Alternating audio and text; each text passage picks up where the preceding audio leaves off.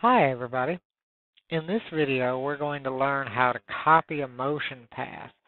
Uh, we're currently studying this in chapter 4 of our textbook. So if you want to turn in your book to page 414 and follow along with me as I go through this, you're more than welcome to. The first thing I'm going to do is open up one of our data files, FL4 underscore 2, which looks like this. And then I'm going to go to my File menu and click on Save As to save this with a different file name. And I'm going to save this as Tween Edits. Tween Edits. And I can just hit Enter and it will automatically save it as a flash file. Now this movie has a motion tween in it that animates from frame 1 to frame 40 on the timeline. You can see that in two places. Notice on the stage you have these orange dots here. That's a motion tween. And also if you look at the timeline, you see you have keyframes in every frame on the timeline from frame 1 to frame 40, indicating that there is animation going on there. Now, on your timeline, I'm going to click the New Layer button at the bottom of the timeline, and a new default layer pops up with the default name, Layer 1. I'm going to change that to something that's more descriptive. I'm going to double click on the name, Layer 1, and that opens up a box so that I can give this layer a more descriptive name. We're going to call this Biker 2, and I'm going to hit the Enter key so that takes effect. And one thing I want you to notice here on the timeline, now that we've created this new layer, the new layer has the exact number of frames as the movie itself does. It has a total of 50 frames. Now at this point, I'm going to click frame number one on the Biker 2 layer to make sure that's active. Okay, and then I'm going to go to my selection tool over here on the Tools panel. So I'm going to make sure my selection tool is active on the Tools panel simply by clicking on it. And then I'm going to make sure my Library panel is displayed. It is. I have two objects in my Library panel right now. One is a graphics folder. I don't need to worry about that now. What I am concerned with is the biker object, gbiker, in the Library panel. So I'm going to click on that and that shows me what exactly is in the biker object in the library panel in this image preview window here. And I'm going to drag a copy of this gbiker object to the stage and I'm going to place it just above the biker that we already have on the stage, like so. And if you look at figure 17 in your book, you can see the placing of this particular object. So we have a new instance of the biker symbol placed on the stage at this point. And I'm going to go to the biker layer that we already have on the stage. Notice the biker layer has keyframes in every frame from frame 1 to frame 40. We're about to copy those frames and put them in the new layer we created a couple minutes ago, Biker 2. So we uh, first thing we have to do is just click any frame in the biker layer and you'll notice that moves the biker to the position of the frame that you clicked on. And you'll notice the motion path for that particular biker is now displayed on the stage. Okay and one other thing I want you to notice if you uh, look at the biker layer you'll notice I have a highlight there in the keyframe that I clicked in. Okay. And one other thing I need to do, click the original biker on the stage. Now, when you click an individual frame, the biker may get a blue box around it. As soon as you click that frame, that indicates that the biker is selected. And notice that the biker is already selected, when I click on it, the blue box disappears. Now that means the biker is not selected. So I'm going to click the biker again to bring the blue box back up.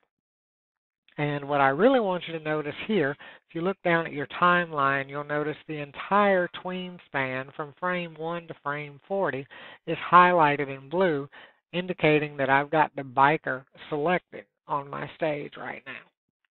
So I can actually just copy all of these individual keyframes right now by going to my edit menu, highlighting timeline, and then choosing copy motion. And that copies all of those keyframes that are on the biker layer at this point. Now to paste them into our biker 2 layer, I click biker 2 to make that layer active on the stage.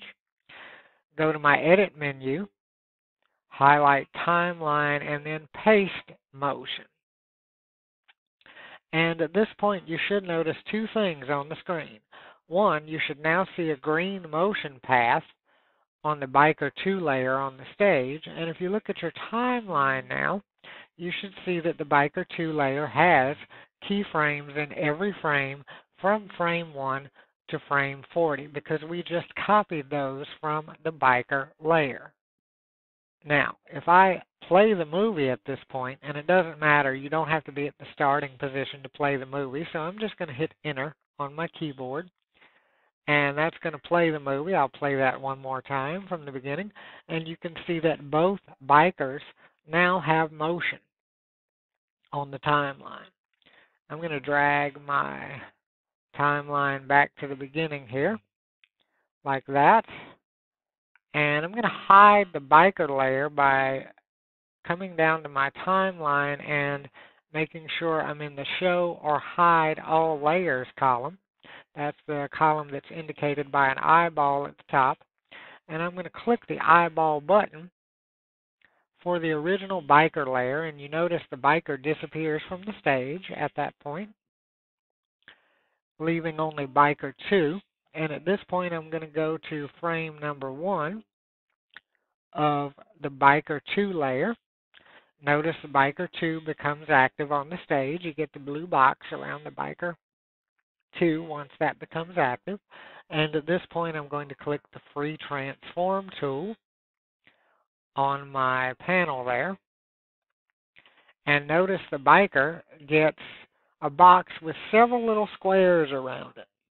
Well, we're going to get back to those squares in a minute, but the first thing I'm going to do is go to my Modify menu, highlight the Transform category, and choose Flip Horizontal. Okay, and you'll notice at that point, when I flip horizontal, and let's play the movie at this point. What that does is that reverses the position of the biker, and now the biker is actually pointed backwards as the biker is making the leap from left to right in the animation. Alright, so I'm going to go back to frame number one on the biker layer. That's my starting point. And now I'm going to uh, move the path. Before I do that, I want to click the path to select it. You'll notice when I do that, I get a big box around the path. And you can use your down arrow keys to move the path down. If you keep pressing the arrow keys, you notice how slowly that actually moves the path. If you hold the down arrow key down for a bit, that actually moves the path a little bit quicker and you want the path oriented to the point where uh, the biker is actually touching the ramp or close to the bottom of the ramp. Okay? Sort of like that. That should be fine at this point. Click the biker object to select the biker. Here at this point. There we go.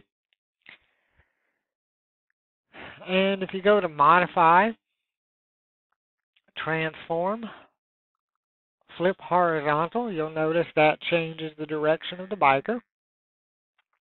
And if this auto recovery box pops up, make sure the enable auto recovery option is checked and then click on yes to get rid of that. Okay? Now at this point you can use the free transform tool to rotate the biker as needed, one way you can rotate is this. If you notice, when I float my mouse pointer over the upper left square down there at the bottom, my mouse pointer changes to a half circle. When I see that half circle, I can hold down the left mouse button and rotate just a little bit so that I'm rotating the biker so that the biker is a bit more oriented to the ramp there. And once I have the biker in a good position, I can actually use my down arrow keys to make sure that the biker is a bit closer to the ramp, like that. Once I'm happy with the positioning of the biker, and let me just edit that just a little more by rotating up just a bit. There we go. We'll go with that. Okay, I've got the biker oriented to the ramp a bit better. And if I play the movie, I now notice that the biker is a bit more oriented to the ramp. And in this entire lesson, I have copied a motion path, moved the path, and oriented the biker a bit better so that the positioning looks a bit more realistic for this particular exercise. And we'll continue working on this in the next video.